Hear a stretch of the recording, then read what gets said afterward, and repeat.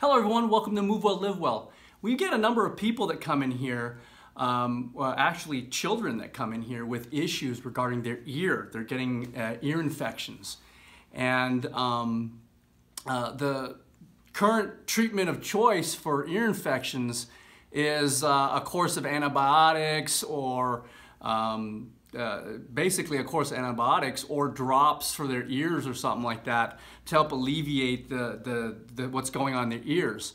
But if you look at the anatomy, what we usually do in here for uh, children with uh, ear pain or ear infections, if you look at the anatomy over here, if you can check it out, this is this is the uh, this is the adult um, skull here. And if you look at, this is the mastoid process, and this is the ear right here, uh, where the ear would be. If you look at this red tube right here, this is the eustachian tube of the adult, and you see how it kind of points down. So bacteria and stuff that uh, sometimes can uh, build up here in the mastoid uh, air cells and within the inner ear itself can kind of escape out the eustachian tube because it's pointed downward. However, in an infant and little kids, I don't know if you can see that, um, an infant little kids, this is the infant. If you look at the configuration, these are the mastoid air cells, and this is the inner ear right here, the middle ear cavity. You can see the eustachian tube kind of is more horizontal, even pointing upwards. So that's why you see a lot of kids, um, infants, and uh, uh, pediatric uh, patients of ours have issues with uh, getting infection in their ear because of that configuration of that eustachian tubes pointing upwards. So what's happening is that bacteria can't escape all the way. So in just a second here, um, I'm going to have Dr. K come in here and I'm going to show you a thing that you can do to your uh, kids and or infants to help prevent um, that, that backflow of bacteria in through there and what's giving them those ear infections and hopefully get them away from having to take a bunch of course of antibiotics all the time. Uh, uh, or uh, at worst case scenario to put a tube, um, go under surgery and put a tube into their ear because uh, that's another treatment of choice that they that they that they um, recommend when you're getting chronic ear infections and stuff.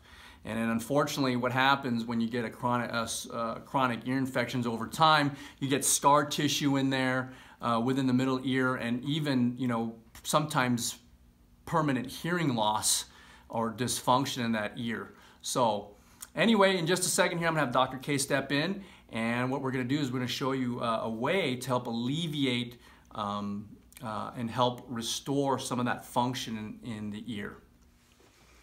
All right, we got uh, Dr. K in here now, and uh, we're going to show you a way, because like we were talking about on that chart, is the eustachian tube uh, for an infant kind of points uh, upward a little bit like this. With, with my pen is the eustachian tube.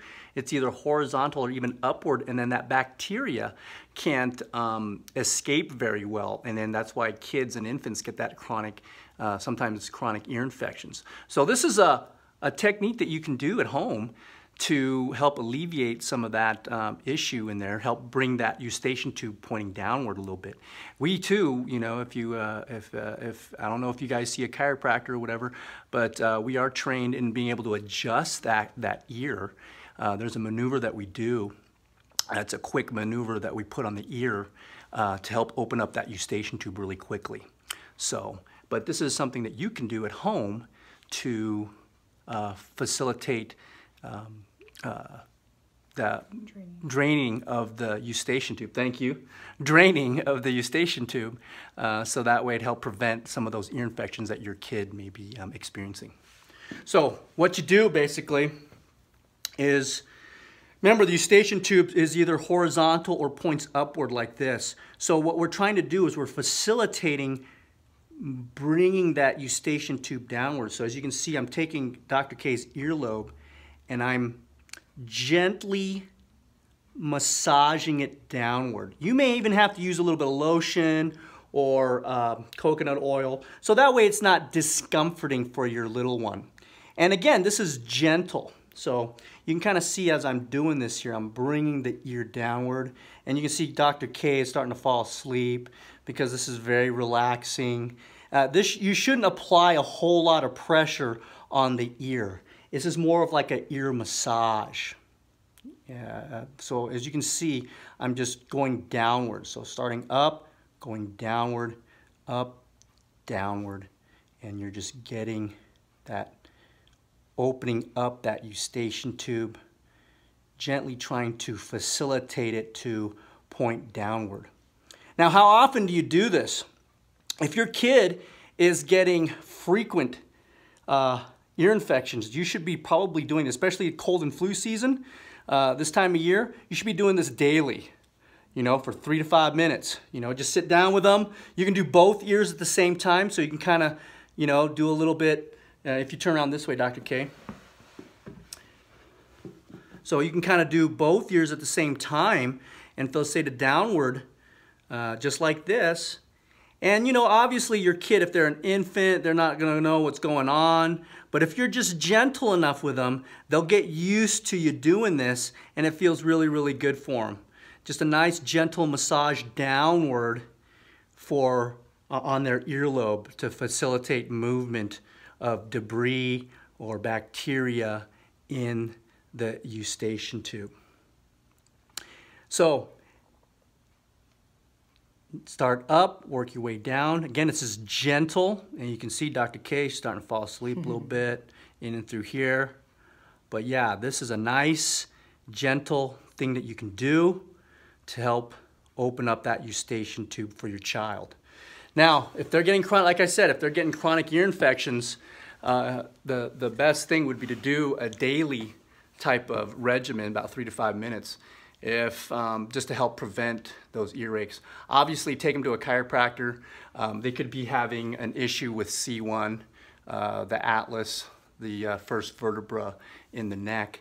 And if that is uh, stuck in a certain configuration, sometimes that can interfere with function uh, at this part of the ear right there.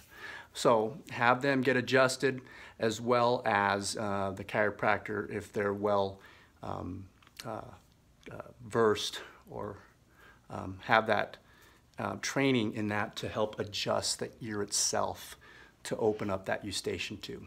So, if you have any further questions, uh, feel free to drop them off in the comment section below. We thank you for watching. We appreciate it. Um, how did that feel? Pretty good? Awesome. uh, if you have any questions, drop them off in the comment section below. We thank you for watching. We appreciate it. Um, please like, subscribe, and share so that other people can benefit from this uh, video as well. And when you hit subscribe, make sure you hit that bell notifications button uh, so that way you don't miss any uh, videos as we as they come in here uh, in the near future. Again, we appreciate you watching. We, we'll see you next time. You take care. Bye-bye. Bye.